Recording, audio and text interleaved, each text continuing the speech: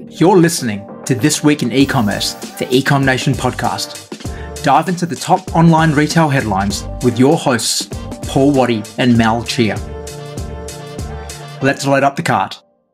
This Week in E-Commerce, episode 10. I am Mal Chia, and with me again is Paul Waddy.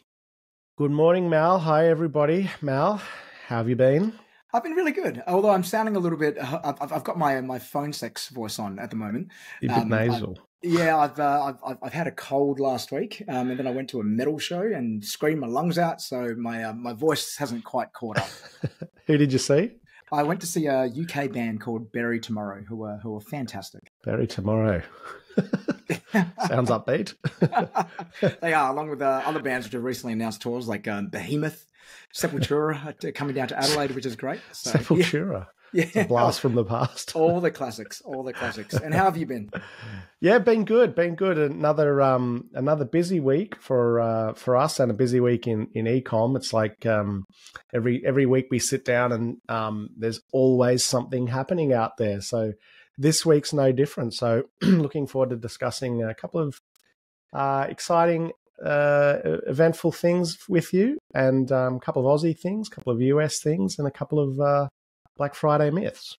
That's right. We are going to be busting some Black Friday myths. Hmm. But before we do that, we just want to give a big shout out to our good friend Heather McIlvaine uh, from Inside Retail, um, who announced this week that Inside Retail have launched a US publication. Um, Heather, obviously, you know, one of the driving forces behind Inside Retail, who do a lot of really great work um, in Australia, like really breaking a lot of awesome news um, and really highlighting some of the great things that are happening in the ecom um, and retail sector, I guess, around Australia, um, launching in the US, which is uh, quite an accomplishment, you know, I feel. Yeah, massive, massive. Um, just like all all online retailers, uh, the the US seems to be, uh, you know, if you can make it there, you can make it anywhere. But um, congrats, Heather. She's obviously and and Inside Retail play a massive part in Aussie ecom. So um, yeah, looking forward to seeing what they can do in the US. And um, that's a great move. Very happy yeah. for everybody there. Absolutely. And there is a great article uh, which I launched with called Is the DTC Business Model Dead or Just Evolving? Um, which is really one of the best articles I've read about this in, in a while. And it does call out a lot of the same um, case studies, which Paul and I have been talking about the last few weeks, um, such as Warby Parker, Dollar Shave Club, um, you know, and a few other brands as well, just talking about how they were able to grow and kind of like what the for and against is for, for those business models. So this is one which um, obviously we've been talking about a lot. And over the next couple of years, we'll probably continue to gain traction um, a little bit. Another piece of news which came out uh, yesterday, actually, is that Designerex, um, who Paul and I interviewed, um, uh, the, the, founders on, um, at, on online retailer, um, have come out and announced that they have partnered with Uber Direct. So Designerex, for those who don't know, offer um, dress rentals um, for for high end dress, dresses, uh, you know, cocktail dresses for parties and weddings and things like that, which you can rent and now you can actually have it delivered to you within two hours for that last minute um, for those last minute invitations you get and you need something special for. And i think that's uh, we talked about this at, at online retail. I think it's just a great fit for them. We, we said it was going to be a great fit and lo and behold a couple months later here we are. Yeah well i think it's um good for two reasons. Uh, if if direct um point to point delivery is ever going to be relevant it's in women's fashion. Um and uh, the other thing is it, it eliminates that kind of, um, I guess that three to even that even if you don't need something today, the the the risk of like oh will it arrive in time for Friday is also eliminated by this. So, in my experience with point to point delivery, um, it doesn't necessarily move the needle in terms of like massive conversion rate uplift, but it does it just eliminates it gives you that sense of security. Like Uber will tell you exactly when it's coming. You know it'll be there today, even if you don't need it today for tonight. It just eliminates that oh the, postal network three to four days kind of thing. So anything that um, can be done faster uh, and gives more certainty in e-commerce, I think is good.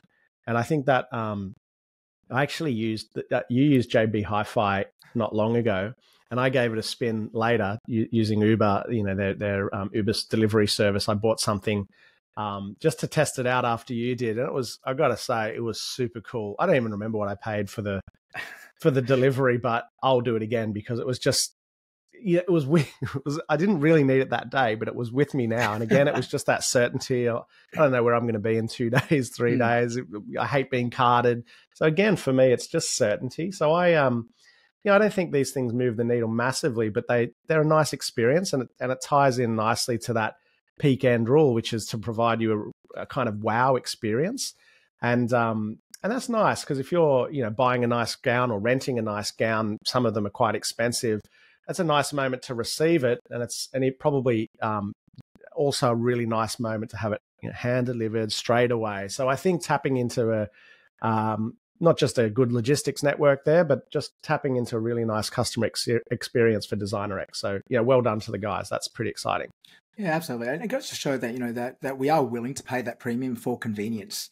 Um, yeah. and that's why I've used that service for. Why I've used JB Hi-Fi and get things delivered because like when a headphone breaks, like I had AirPods, I needed to buy some new AirPods the other day yeah. because one just started glitching. I just very quickly hopped onto the website, ordered, and within while I was on the same call, my new AirPods arrived and I put them on and away I went. This is a new AirPods. And I recently had to do this again when I was traveling as well, where I needed to get something delivered to me um, because I had left uh, my my USB dongle um, at home. So I had to get a USB dongle delivered to me and I can get a, I could go straight to clients um, to then do a presentation without having that awkward, oh, does anyone have a dongle? And yeah, well, now that's a good point. Like we know um, everyone's sort of discounting, particularly, you know, we'll come to that in a minute, discounting and fighting each other on price and margins are under pressure. And then you make a move to offer a premium service and people will pay for it. Um, we, how do we know that? Like you don't need to run an A-B test. You need to just see that Uber has made it. Yeah. You need to see that Uber Eats is, has made it. Like Uber Eats, some of the dollars we're paying for, you know, local Thai food is outrageous, but we still pay it because it's convenience. So the whole myth that people won't pay for convenience, like convenience is a genuine value proposition. So I think again, it's just a reminder that while everybody's fighting each other on price and trying to be cheaper and cheaper, you can actually offer value in other ways. And I think convenience, um, as they say, time genuinely is money. So con- um, convenience is something that brands need to think about. You also see the same with click and collect. When brands offer click and collect, it usually goes quite well because people like the convenience that, oh, that's on the way home. I'll swing by and pick it up. So I think, um, yeah, big shout out to those guys for offering a really convenient user experience.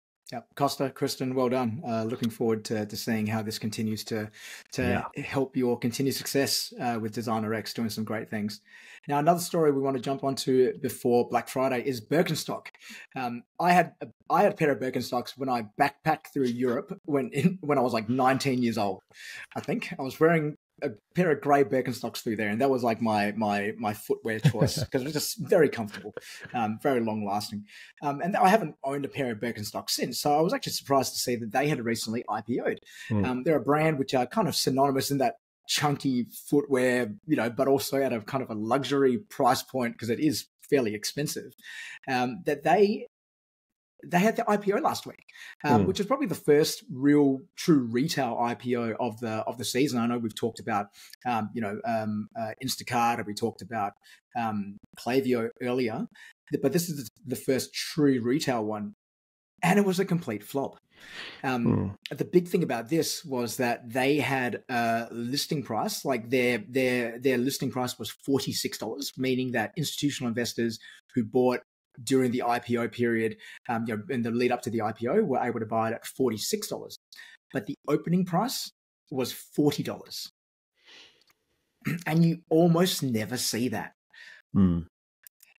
And it That's just pretty goes, bad. It is pretty bad. And I, I look at this and go like, okay, well, do people look at this and just go, well, there's where's the upside? And I think it was very overpriced. Like Birkenstock are valuing themselves at you know something like 1.46 billion dollars, um, which I, I, I don't think is quite right for a footwear brand like that. When you consider like what Nike is, and Nike is obviously in the hundreds of billions.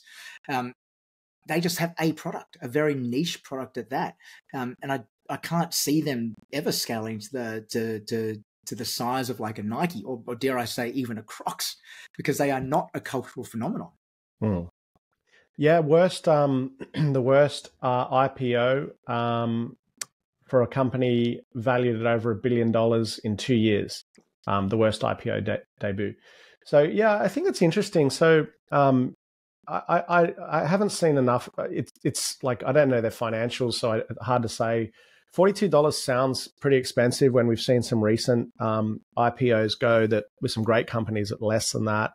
Um, again, billion dollars sounds pretty outrageous. You you would have to say like um, Birkenstock would be capitalizing on the goodwill out in the market at the moment because they, they have gone through a resurgence since since your days backpacking through. Yeah. Uh, that's when shares. that's when the value started to increase actually. But the um you you would have seen like uh, Fear of God, you know, did a collab with um, Birkenstocks. I started seeing it like two two three years ago. I, I remember seeing shout out to, to Miguel Fernandez if he's listening, but he was came into the office wearing Birkenstocks, and I was like, dude, no, never. And then my wife was wearing them, and I was like, what are you? What is going on here? and I thought they were the most disgusting things I'd ever seen. And then I started seeing people wearing them with socks and wearing them different ways, and I was like, okay, I can appreciate it. Um, I'm, I'm I still haven't stepped foot into one. I don't think it suits me, but nonetheless, they are everywhere. And you look at uh, Google Trends at the moment, and they are at a they they not just at a high because they've listed, but for the last five years they have been getting bigger and bigger and bigger. So there's got to be some sales volume. They obviously think they're, you know, to quote Zoolander or the other bloke, they obviously think they're hot right now. The market maybe thinks they're not so hot right now, but um, that's a fizzer. Didn't go well. Yep. Um, flip side, Klaviyo continues to do well, I think. They are. They're, they're, continuing to trade above their above their listing price, um, which is which is ultimately what you want. The last thing you want is to launch and then within a couple of weeks, and you do see this quite often. Uh, within a couple of weeks, you are you mm. are soon trading below your listing price, and that's uh, that's a sign of a broken IPO. Mm. Um, so in this case, Birkenstock, well and truly a, a broken IPO.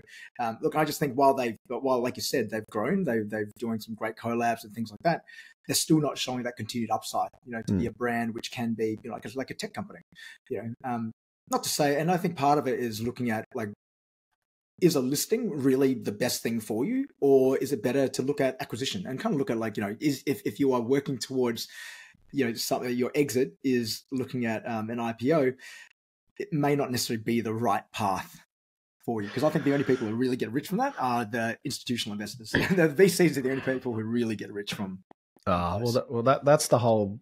That's a topic for another day. But that's the whole. Um, the whole thing, isn't it? Like you've got to un- you've got to really understand what what is your objective by IPOing. Like the uh, you know the the objective that oh we're raising money for growth is oh, yeah raising money to pay bankers is usually the the reason for IPO. Yep, there's certainly better ways to raise money. Hmm. All right, on to our big topic for the week, which is we are now going to bust some Black Friday myths. Um, we have just passed Prime Day, um, which I didn't really, really hear too much about. So we're one week on from Prime Day. There was nothing really in the news except for some ads and things like that, and there wasn't really the the whole hoopla, particularly when Amazon announced how well they did. Um, one week on.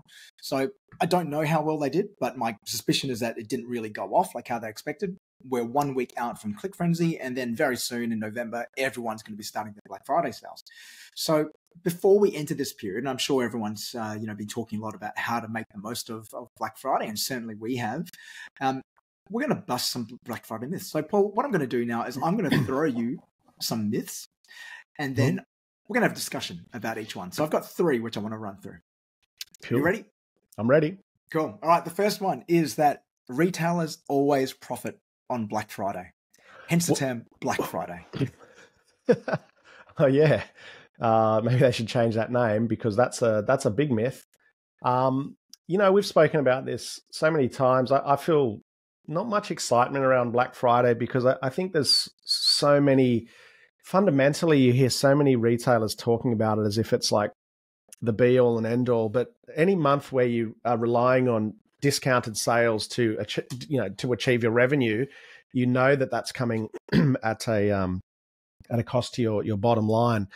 The short answer is um, there are many companies that'll do really really well on the strength of their own channels. So not smashing Facebook. If anything, you know, Meta, if anything, pulling that back. They've built really good email lists. They've got great retention. They've got, you know, they've got um, solid CRM strategies in place uh, which we spoke about uh, at a Klaviyo and Ecom Nation event last week. Um, but there's a way too many brands here who will do two things. Um, there's brands that will go from January through to October uh, unprofitable, losing money, and then we'll aim to break even or make a slight profit uh, in November. And what that means is, as a founder, that you're being paid once a year. Um, you're not getting paid fortnightly or monthly; you're getting paid yearly. And quite often, then you're you've outlaid so much for inventory that you're in a cash hole. It's a really nervy time, uh, especially as an ecom advisor, because you see lots and lots of cash, um, cash going really, really low. Um, you see heaps of brands make more money in October than they do in November, simply because they are they are discounting too much. Um, the reality is, if you're discounting thirty percent uh, off the bulk of your goods, um, you're going to probably have to pull back your ad, your um, marketing spend by five to ten percent um, to try and even remotely balance that out. But if say you spend twenty percent on ads, um, and uh, and then usually, and then you spend twenty percent again in Black Friday and discount um, thirty percent, you're you're going to lose money. So um, stacks of businesses losing money, Mal, and the scary thing is, or the sad thing is that uh, lots don't seem to care, and or they don't seem to be aware. So that's um that's a sign of not not a great business. Mm, I'm definitely seeing that as well. Um, particularly talking with some businesses, um, I think uh, you also have the added pressure of the ATO as well, which I've which I've heard from a few from a few small businesses who are saying that in this particular period now, it's like after the ATO was fairly lenient through the COVID oh. years, now we're kind of out the, out the back of that. They're being far more aggressive in terms of chasing um, various tax debts, and there are several retailers I've spoken to who unfortunately did not did not properly save over that oh, period. Oh yeah, um, and now and are now being hit with that. So that's something else which which you got to consider as well. Um, but in terms of that, going back to you know, are you always profit on Black Friday? Like you said, hell no. Mm. Um, and understanding your unit economics becomes really really important rather than just looking ca- at cash in. That yes, cash is king, but that cash needs to pay for something mm. at the end of the day. So you may look at it as being like we're going to do X number of million dollars worth of sales, but that's that, that that that money just goes back towards paying for more stock, paying for your staff, paying for your advertising. Rarely does it ever leave you enough if you are in the position where you know you are relying so heavily on Black Friday to turn a profit. Um, that you're ever going to actually have enough money left to actually reinvest back into the next year. So you end up with this compounding problem where the next year you need to borrow more, yeah. you know, you need to do things like that. You need to go on more sales, um, and, but you don't have enough stock to actually go, go and do the sales. It becomes a vicious cycle. And if you stay on that treadmill, you know, you're on a road to ruin. Mm. You know, I think you made a good point there about the ATO as well. That's a, such a good point right now. They're super aggressive, and a lot of people are using November to clear that to clear their balance sheet up like to pay off tax bills, clear their super, pay back the loans that they've borrowed for stock, and then they buy for January and February, and they're back to square one. Mm. That's also, as you said earlier, that's the sign of a broken model.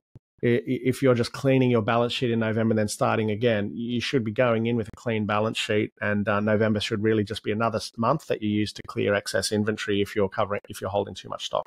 Yeah, the best retailers use November as a period to kind of just like you know undo some of the mistakes they've made, but they're not relying on it. Mm. You know, and matter of fact, I'm, I'm, there's there's a few who we're working with who are barely even going to be doing Black Friday hmm, sales. Mm, you know, they're absolutely. going to be doing some sort of offer, but more like a you know gift with purchase or yep. things like that. They're certainly not discounted.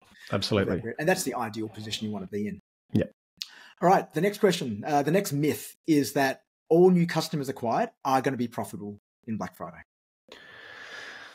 No, I mean that's that's definitely another myth, and we've seen that um, with brands that we've worked with before, where you know every dollar spent is actually a dollar lost or ten cents lost. Um, particularly when you're talking about Meta, and and that comes back to a couple of things: is um, uh, the amount that you're spending. Um, you you're, you're spending uh, twenty uh, percent normally throughout the year, and you maintain that twenty percent spend while you're discounting. Um, a lot of brands don't look at their cost of goods sold um, or their margins when they're setting their MERs. And this is why, as you, you and I know, there's no cookie cutter approach to setting an MER. Like you've you've got to know if, if a brand was to ask us like how much should I spend on marketing, and and we said 15%, we, we don't know because we need to know your margins. What's the offer you're going out with? Every approach is different, so you do run the risk of um, of of actually losing money um, when you're or acquiring unprofitable customers when you're discounting um, and relying heavily on paid media and overspending. And the the other thing is, it's um, I, I learned this um, the hard way in my very early days, like ten or fifteen years ago. um, when you're hunting for bargain shoppers, that's what you get. You get mm. bargain shoppers, and and that means they might not purchase with you ever again. They might just churn on to the next brand. That of course depends on what you're selling, which is that we've spoken about before, being unique with product. Um, but discount shoppers are a unique breed, and they are not a loyal breed. They're they're price sensitive. And this is why, again, I, I get really nervous about any strategy that involves being a, a cost leader so I think you've got to um, question one, the customers that you're acquiring, which again is why it's better to nurture your existing database, and two, how much you're you're spending to acquire these customers. So I think that's a that's a myth, Mal. Yeah, that one's busted. Um, busted. I also could say, like in terms of a good report to look at if you're on Shopify, is your cohort analysis report. Um, so if you have done Black Friday before and you've been around for a few years, have a look at what the retention rates are for the customers who you've acquired in November and December in previous years. And I almost guarantee you that you'll find that their retention rates, you know, over a 12 month period or even a 90 day period, are significantly lower than customers you acquired at any other time. So you also need to be cognizant of that as well. That you know, that yes, you're going to be spending. If you spend more on marketing, which most people invariably will, you also need to watch your CAC because mm. if your CAC explodes and you're not acquiring enough new customers, it means that you're acquiring them extremely unprofitably as well, and you're making pretty much making like a first order loss and probably a lifetime loss on these customers if you don't watch your numbers correctly. So you got to make sure that you look at you have realistic projections in terms of like how many new customers you're going to be acquiring for that period, what their lifetime value is, and then make sure that you're also factoring that into your budgeting as well. Um, the other thing, thing as well, and this is a bit of a myth, is that the customers who you acquired during that period, I, I, always feel like you know you're not really acquiring new customers to that period. The, the customers who really you should be focusing on are the ones who've been checking out your brand for like the mm. two, three months beforehand. You know, who've been sort of browsing and window shopping, haven't been ready to make that jump, and now you're giving them that extra push rather than going aggressively for brand new customers who've never been seen your brand before over that period. I feel those are the ones who are harder to acquire because you're competing against everyone else. Whereas if you're focusing on the ones who have already been window shopping a little bit, um, you're already in the consideration set. So they're more likely to make that jump to, mm. to purchase from you. Yep, exactly. All right, our last one for today is you need, and we did touch on this one earlier, is that you need to spend more on advertising during Black Friday to get noticed. Well, um, as a percentage uh, of your revenue, MER, you need to spend less uh, to preserve your profits. That's the main thing. Now, again, um, there'll be some brands out there who uh, maybe are already sitting on like a 25, really healthy 30% net profit, who can maintain their marketing spend, take 5% off, you know, 10% off even their net profit, and that dollar figure is so much bigger that sure it's it's worth it for you. So here we're really talking about those brands who are probably sub 20% net profit um, who just run the risk that if that you maintain your marketing spend at 20%, what you actually might find is that um, yes, your net profit will obviously decrease as a percentage uh, because you've you've you've um, you've overspent on marketing um, relative to your discounting, but you might also find that your dollar figure is not as big as previous months.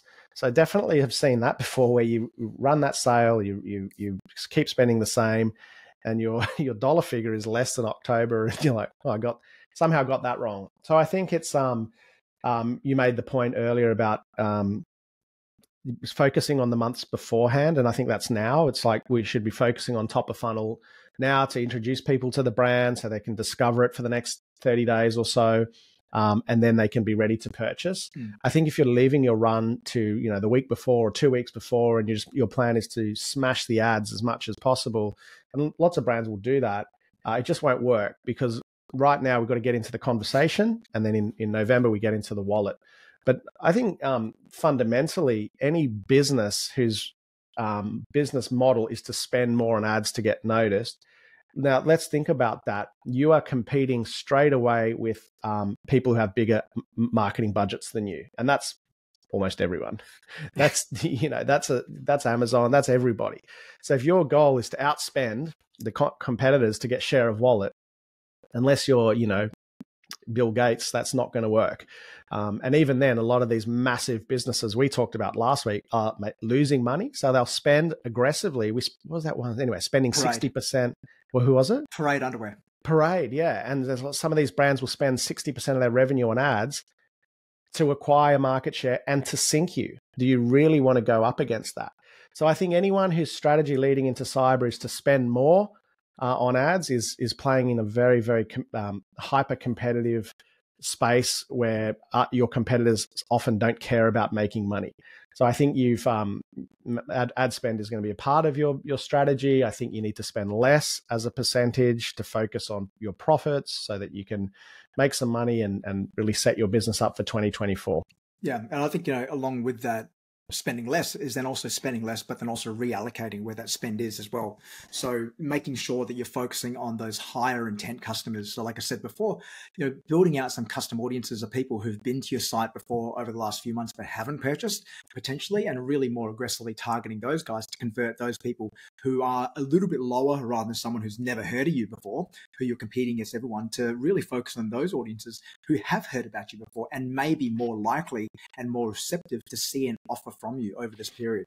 So making sure that, you know, right now you may be spending like 25, 40%, let's say, for argument's sake, on top of funnel, you know, more like awareness and reach, but you can then start flipping that towards reallocating a large chunk of that towards more your middle of funnel. So bringing down your overall spend, reallocating it more towards middle of bottom of the funnel to make sure you're capturing all that higher intent customers and traffic um, who who are who are already receptive to buying from you, rather than trying to convince someone in that two, three, four week period um, totally. to, to take a punt and buy you for the first time. That, that, you come back to your point before, like if so, if if you haven't done the activity two to three months before, you have nothing in that middle to bottom funnel. So now we've got to get that engagement. middle of funnel could be someone who's engaged with your socials as well. Organic social plays a huge role in this. I, I'm seeing too many brands, I think, be a little bit too like um um I, I'm going to say like they treat organic social like it's paid social and they run hype they just run creative on it that's fine but i think it's time for brands to really get into storytelling on organic socials mm-hmm. document the journey we see this over and over again brands who tell stories about their actual business journey but the, the point is really just using organic social as a different strategy to paid social. It doesn't make any sense to me if you've got paid social and then, okay, sit down and look at organic social, everything's the same as paid social.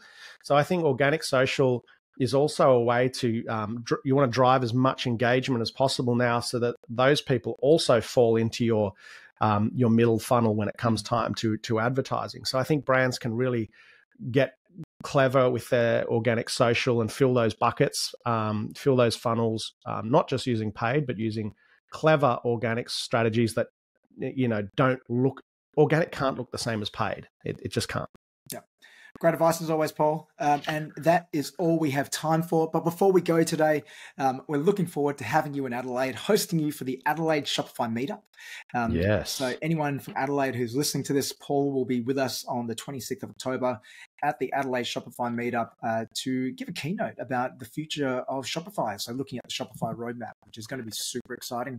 Yeah, if anyone's um, any retailers are in Adelaide, we might have a few spots left. Uh, follow Ecom Nation or head to ecomnation.com.au. Follow us on socials and just drop a, drop us a line if you're interested in coming. We'll see if there's any uh, spots available. Fantastic. And as always, thank you very much for listening. Um, if you do get some value from this podcast, um, you know, feel free, we'd love it if you could um, leave a comment, give us a rating, um, and share it with your friends. Uh, we love helping out this industry um, and look forward to doing it more and more. Thanks, guys. Thanks, Mal. Cool. Thanks, Paul.